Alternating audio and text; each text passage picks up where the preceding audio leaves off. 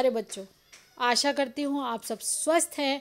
और ये है आपकी English worksheet number seventy two जो आज आपको थर्टी फ़र्स्ट दिसंबर टू थाउज़ेंड ट्वेंटी को करनी है।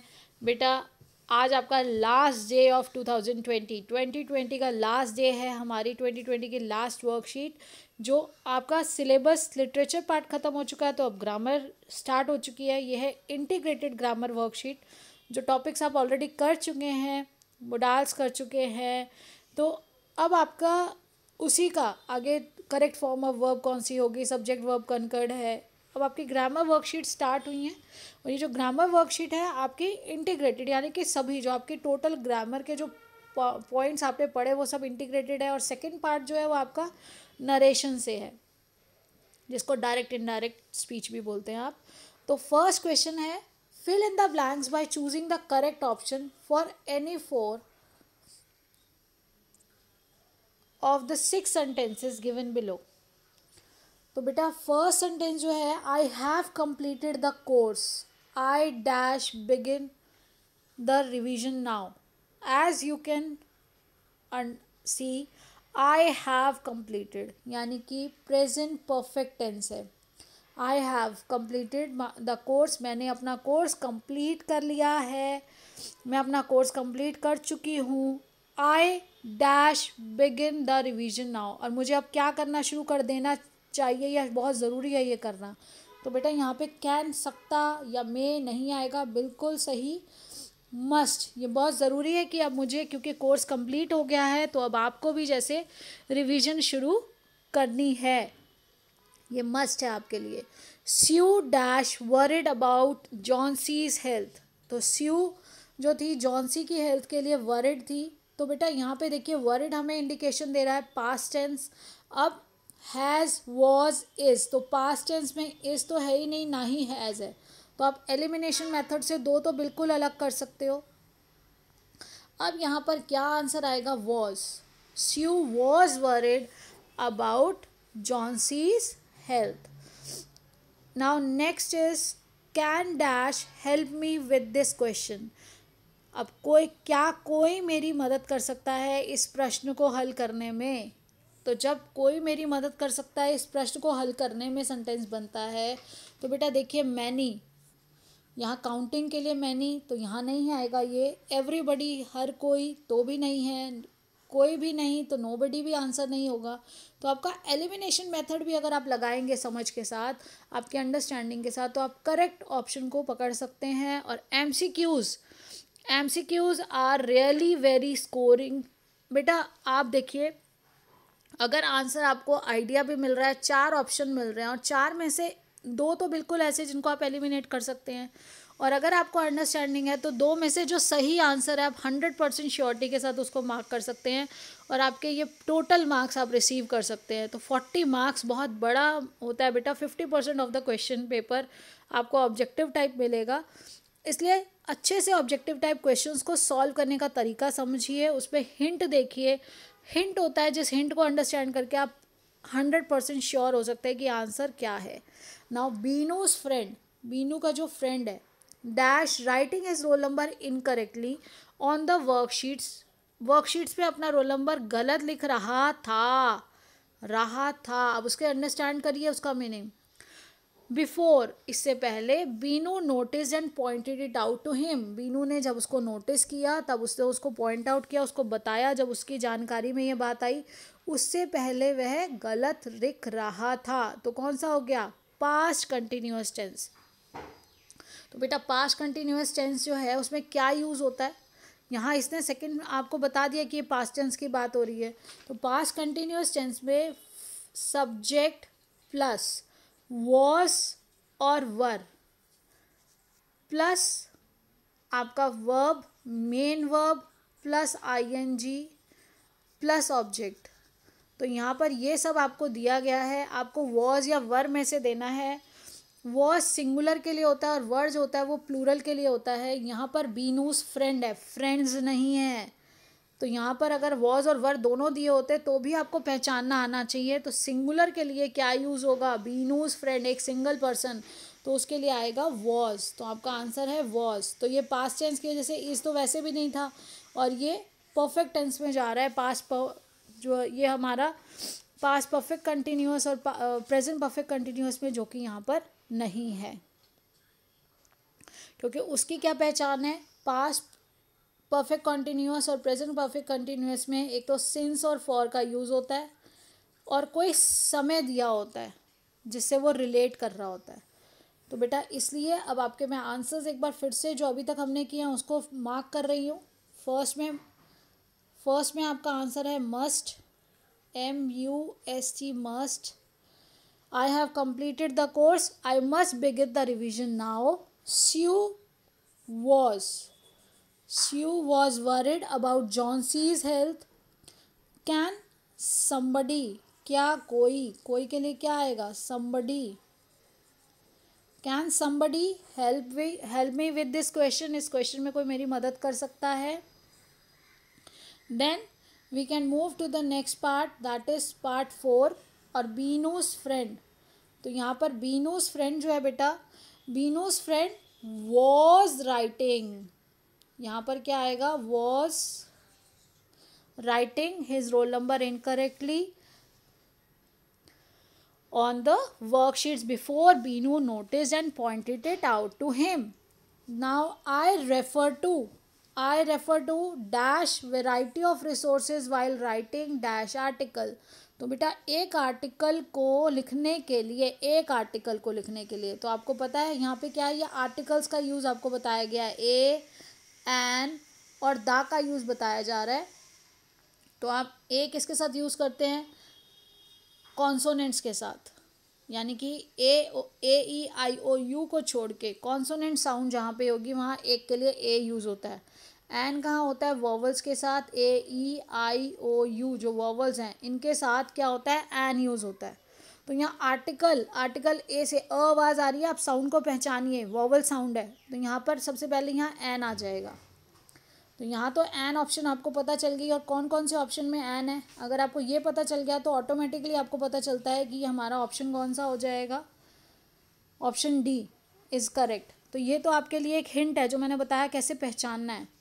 I refer to dash I refer to a variety variety के साथ क्या आएगा? A variety of resources while writing an article now if you have studied really hard अगर आपने अच्छे से पढ़ाई की होती, सच में अच्छे से पढ़ाई की होती you dash be able to answer at least seventy five percent question तो अगर आपने अच्छे से पढ़ाई की होती, आप पचहत्तर परसेंट जो उसमें से सेवेंटी फाइव परसेंट क्वेश्चन है, वो आप अच्छे से कम से कम कर सकते थे। सेवेंटी फाइव परसेंट पेपर आप कर सकते थे।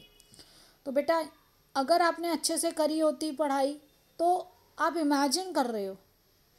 क्षमता आपकी वहाँ पर है, लेकिन वहाँ क्षमता से ज़्यादा वो इमेजिनेशन है। तो जहाँ इमेजिनेशन होती है, वहाँ पर क्या यूज़ होता है? वुड आप उस सिचुएशन को इमेजिन कर रहे हो कि ऐसा होता।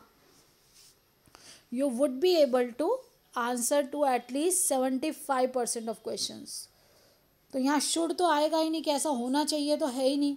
तो शेल भी नहीं है you shall you shall be able to अगर आपने किया होता, यहाँ पर ये पास्ट टेंस चल रहा है।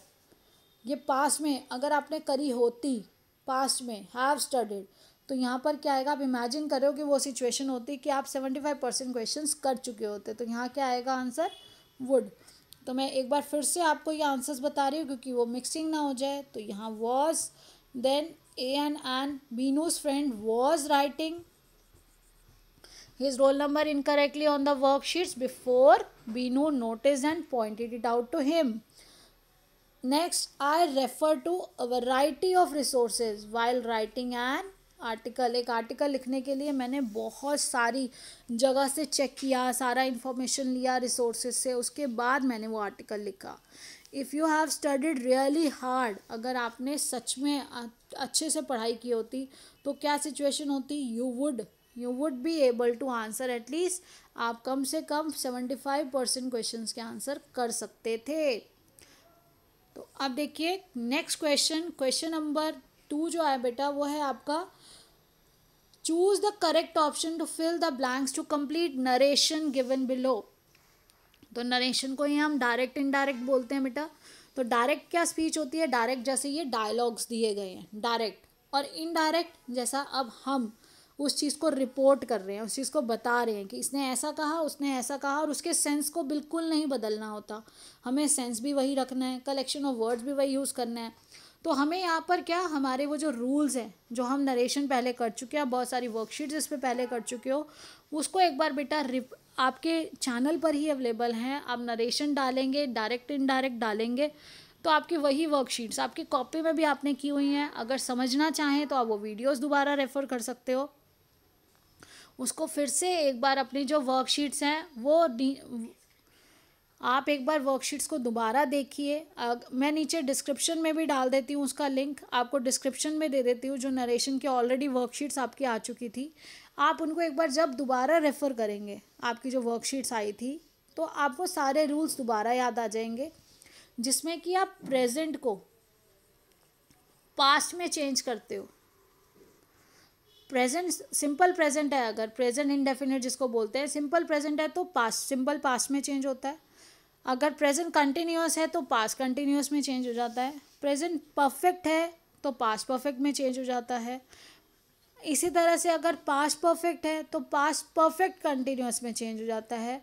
तो बेटा, आपको वो चीज़ें देखनी है कि आप कौन सा स्टेंस है, किसमें चेंज होगा। वो रूल्स जब आपको अच्छे से याद रहेंगे तो आप उसको अच्छे से कर पाएँगे और कोई गलती नहीं होगी। अब देखिए, इसमें भी हिंट्स होते हैं। अब हम उन हिंट्स को, उन रूल्स के बेस पे देखते हैं। बहुत इजी सेंटेंसेस हैं। अभी आप उन वर्कशीट्स को रेफ़र कर लीजिएगा। मैं पहले हिंट्स के साथ आपको ये करवाती हूँ जो आज आया है। पूनम ने कहा, Poonam what is the matter Poonam ने कहा, आखिर क्या बात? बात क्या है? What is the matter Kirti I deleted an email हो सकता है कि कीर्ति बहुत ज़्यादा परेशान थी, बहुत एंक्शस थी। तो वो पूनम ने पूछा, क्यों परेशान हो आखिर? व्हाट इज़ द मैटर तो क्या बात हुई है? कीर्ति ने जवाब दिया I deleted an email Poonam said why क्यों किया तुमने डिलीट तो कीर्ति ने क्या जवाब दिया? इट वॉज़ बाय मिस्टेक वो मुझसे गलती से हो गया। नाउ बेटा, अब हम स्टार्ट करते हैं कि इसमें क्या हमें हिंट मिल रहे हैं, देखिए। पूनम आज्ड आज क्यों आया? बेटा आज आएगा जब भी क्वेश्चन पूछा जाएगा।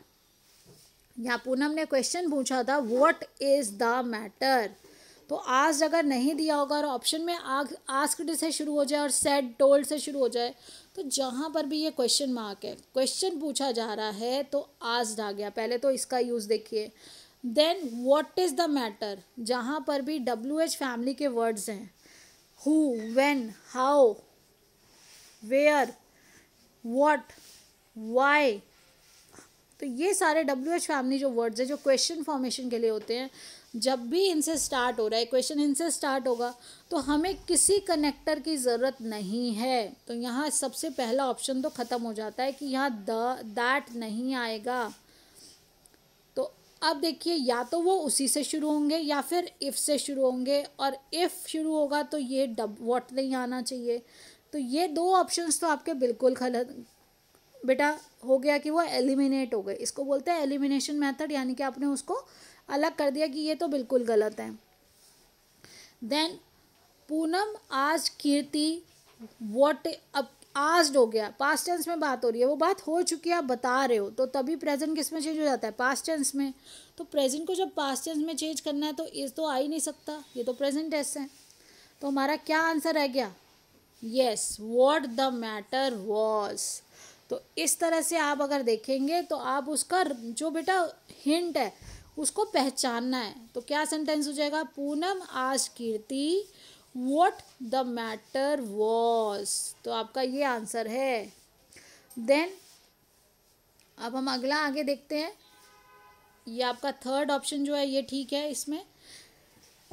नेक्स्ट है हमारा बी पार्ट कीर्ति रिप्लाइड अब कीर्ति ने जवाब दिया, उसने क्वेश्चन पूछा था तो कीर्ति ने जवाब दिया आई डिलीटेड एन ईमेल अब कीर्ति ने जवाब देना है आई कीर्ति रिप्लाइड दैट यहाँ तक तो आएगा दैट कोई क्वेश्चन नहीं पूछा गया तो इफ़ नहीं आना चाहिए।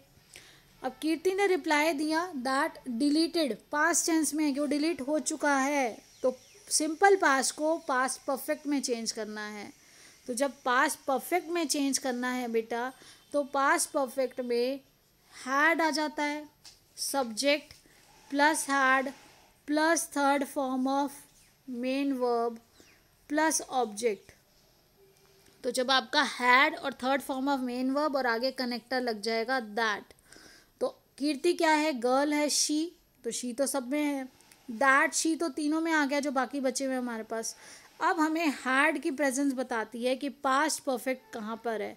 तो बेटा इफ़ वाला तो ऑलरेडी हम कैंसिल कर चुके हैं तो हमारा सही आंसर कौन सा है? That she had deleted an email तो हमारा आंसर आ जाता है, यहाँ पर आपका थर्ड पार्ट और यहाँ पर हमारा है fourth part that she had deleted an email तो इस तरह से बेटा आपको दो का हिंट मिल गया। नेक्स्ट अब हम नेक्स्ट पे जाते हैं तो नेक्स्ट है हमारा पूनम। अब पूनम ने उससे कहा कि उससे डिलीट हो गया तो पूनम ने क्या कहा? देखिए, पूनम ने पूछा वाई अब पूनम का सिर्फ़ हमारे पास वाई है, लेकिन हमें, पूनम ने क्वेश्चन पूछा है ना? तो क्वेश्चन पूछने पे सबसे पहले हमें पता है कि क्वेश्चन पूछने में क्या यूज़ होता है? आस्ड तो वो तो सब में है asked then why W H family word तो वाई से ही शुरू होगा। अब डब्ल्यू एच फैमिली आस्ट अब हमें क्या देना है? क्या कहा उसने?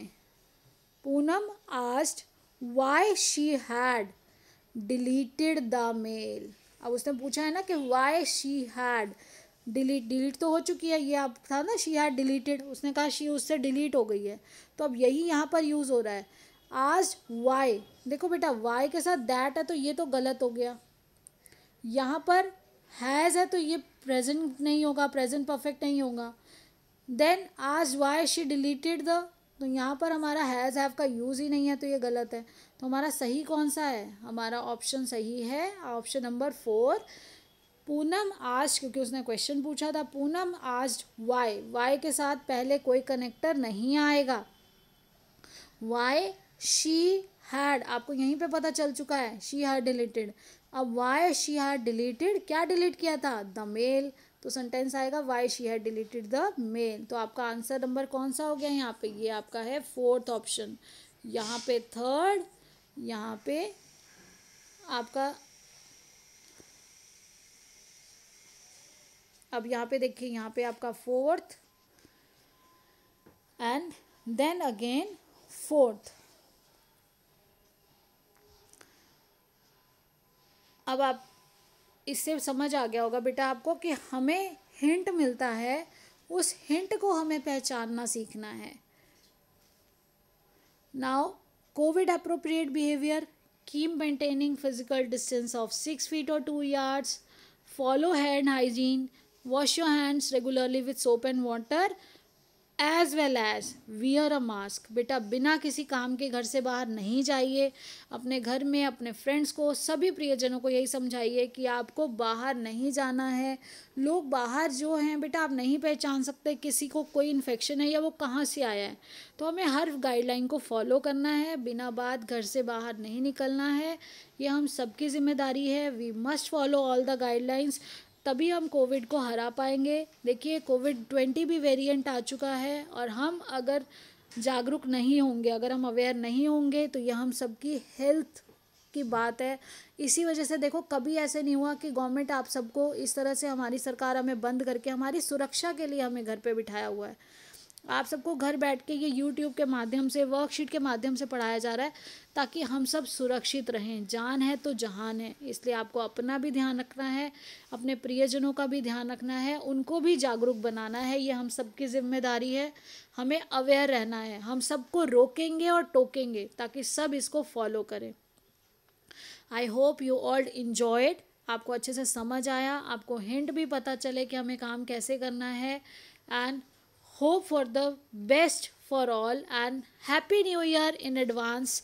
आप सभी के लिए, हम सभी के लिए नया साल बहुत सारी खुशियाँ लेकर आए, सुख समृद्धि लेकर आए, अच्छे स्वास्थ्य, सबका स्वास्थ्य अच्छा बना रहे और सभी मिलकर एक दूसरे का ध्यान रखेंगे। आप न्यू ईयर विशेष के साथ सबको हेल्दी, अच्छे स्वास्थ्य की विशेष भी दीजिए। सबको गाइडलाइंस के लिए भी अवेयर करिए कि हम सबको मिलकर कोविड को हराना है और वापस अपनी हर चीज़ को इन्जॉय करना है। So take care keep learning and enjoying stay blessed and healthy have a nice day and be in touch जैसे ही बेटा कुछ भी इंफॉर्मेशन होगी, अभी आपकी छुट्टियाँ शुरू हो रही हैं एक जनवरी से तो कोई भी इंपॉर्टेंट इन्फॉर्मेशन या लेसन्स की जो समरी क्वेश्चन कुछ भी जो इंटीग्रेटेड ग्रामर एक्सरसाइजेस जो पॉसिबल होगा, मैं आपके लिए डालूँगी।